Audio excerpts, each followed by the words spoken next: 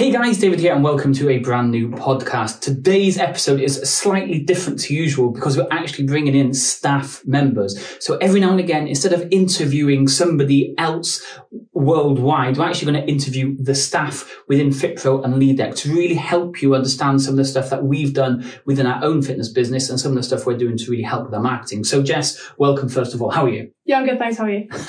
Jess was a little bit nervous about doing this today. She's going to be the first one. So do let her off if it doesn't feel great. But today what we want to talk about is how to improve the sales. First of all, how to improve people showing up to making sure that you're actually getting them onto the phone and turning up for your consultations. And then how to make sure you close that sale and also make sure they don't have buyer's remorse. So I think I was going to start, yes. And I was going to talk about all about once a lead comes in that we need to actually chase these leads down because once a lead gives you their contact details, we need to be on it as fast as possible. Would you kind of agree with that? Yeah, I would say ringing them literally, obviously, as soon as you get the lead notification, if possible, if it's, you know, if you get it overnight, as soon as you get in in the morning, that kind of thing, like as soon as possible, get in contact with them. Yeah start pushing. 100%. And we see a massive difference when it comes to if you call a lead straight away compared to if you phone a lead like five or six hours later. And the perfect example we can give for that is let's say a couple had a bit of an argument in the morning, maybe because the partner made a comment about uh, the, the clothes that this partner was wearing and, or maybe it didn't look good or maybe you've put a little bit of weight on or something and that's gone to their head and now they're thinking, you know what, I really need to do something about this and they see your adverts. They instantly give you their contact details, submit it, and they're really thinking about all this kind of change in their head. The day goes on, you haven't phoned them, they get home, the partner's brought them a bunch of flowers or some chocolates or something to say sorry, and then that feeling has completely gone. So if you phone them up later in the day, then you've kind of lost them. So like Jess was saying then, phone them as soon as possible will make the biggest difference. So what kind of would we do next once we've actually got them on the phone? Um, rather than starting your conversations pushing what you sell, yeah. get to know them. Make your make your thing the solution to their problem, whatever it is. Start the conversation by asking them why they what attracted them to the advert, what they found interesting about it, what attracted them to say yes, I'll put my information in. Find out what they're most uncomfortable with at the moment, what's not making them feel great and work from that bit. So if someone says they want to build muscle, don't try and push them a weight loss program and vice versa. If someone wants to lose weight, don't start talking to them about doing loads of like heavy liftings that are going to build loads of muscle because that isn't what they want. Yeah, definitely agree. And it's kind of a sell them what they want, provide what they need. Because again, most of all, we, we know this as Fit Pros that most of the clients don't really know what they actually want or how it should be done. They've just kind of seen some stuff online and they want to achieve results similar, but they're not sure how how to do it. So like when you spoke to them initially, what kind of icebreakers did you have to kind of relax them, especially when you were talking to them on the phone? So we actually used a call script. So you'd start off with just your average, like, have you ever done anything like this before? Any kind of what your experience is, just that kind of stuff. So you already know whether they're like completely novice or whether they need a little bit more help and everything's going to have to be explained in a bit more detail. And then, um, mostly starting off with things like what are you most uncomfortable with at the minute? How would that make you feel? Um, how how are you feeling with everything at the moment? What is the problem that you want to work on? Um, and working with that, we had people like crying on the phone, talking about how like in depth they they felt and they buy almost straight away because you you can work it to them. Cool. And let's just pause there. If you are an ads management client of ours, just drop me, Jess, Ella, one the team a message, and we'll send you that call script so you've got everything you need to really go ahead and really start running those uh, sales calls better. And then you you you explain the program to them, correct? Yeah. So you would kind of highlight the points in the program that are going to work really well for them. So like I said before, if they're looking particularly for muscle building, then you would maybe talk to them more about your weight based classes. And if they're looking more for weight loss, you would maybe target it more towards their cardio or how you can make weight classes work for them, that kind of thing. So you would have a sort of script on how you would say it, but just pick out bits that would yeah. work more for them.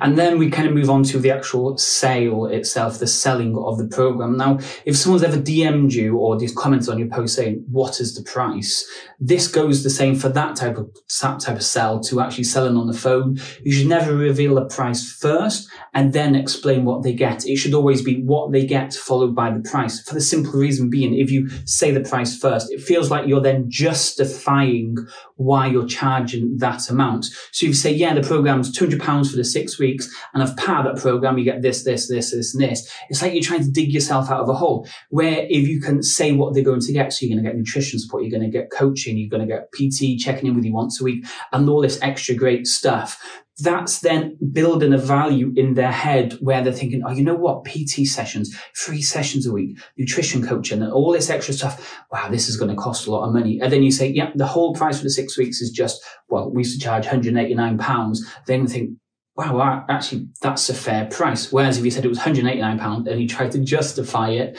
it's different. But then the big thing would come, especially when we were on the call, and probably Jess would agree with this we wouldn't always have to sell on the phone. You might have certain conversations where you think, yeah, guaranteed sale, I can close this on the phone.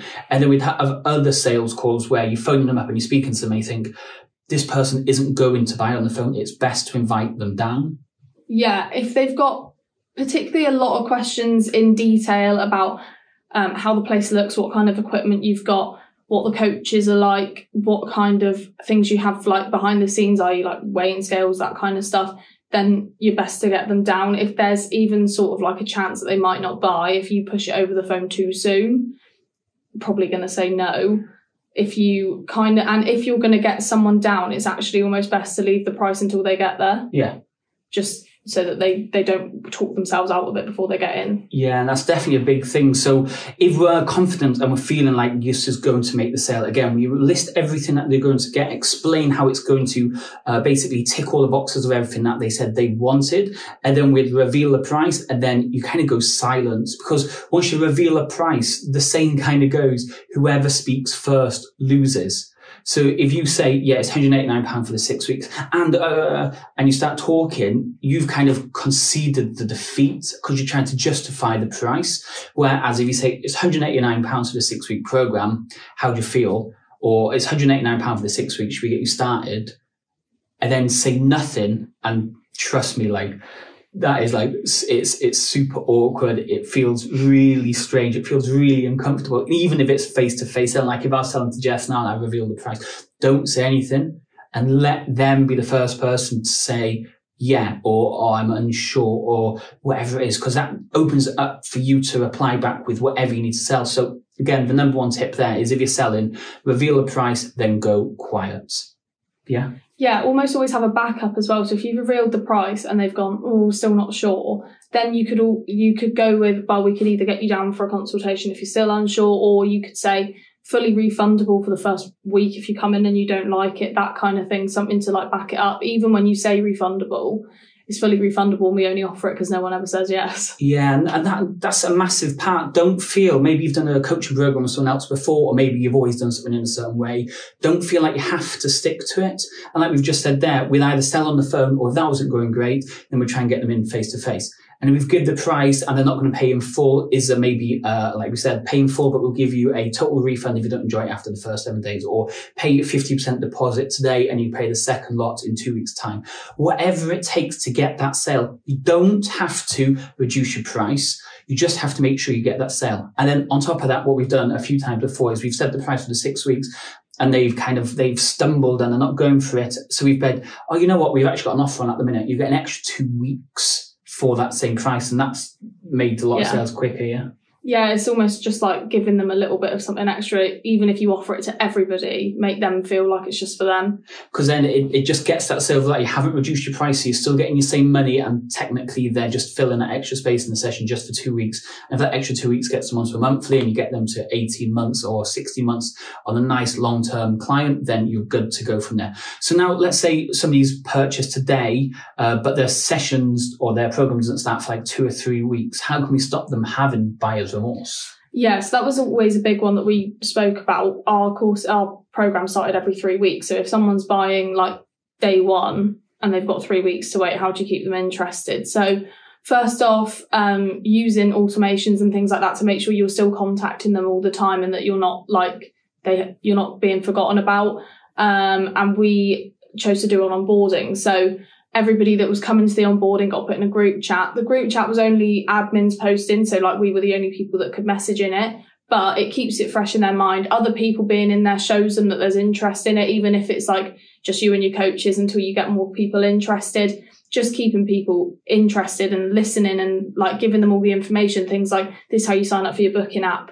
This is what to expect on our onboarding session. And then closer to the time, you can open it up and they can all speak to each other about how excited they are to get going. And it stops people thinking, oh, I'm not so sure now, I want a refund. Yeah, and that's massive. The more you can kind of get them to start engaging and commit to the program, if there's a big delay in it starting, the more likely they are to commit. And one of the biggest things Jess didn't mention there was we'd actually asked them what their t-shirt size was ready for when they start we didn't actually get the t-shirt until they actually did their first or second week. But by saying we were going to get their t-shirt ready for the start, that makes them feel like, oh, you know what? These are, they're investing in me as much as I'm investing in myself on this program. So it kind of gets them stuck.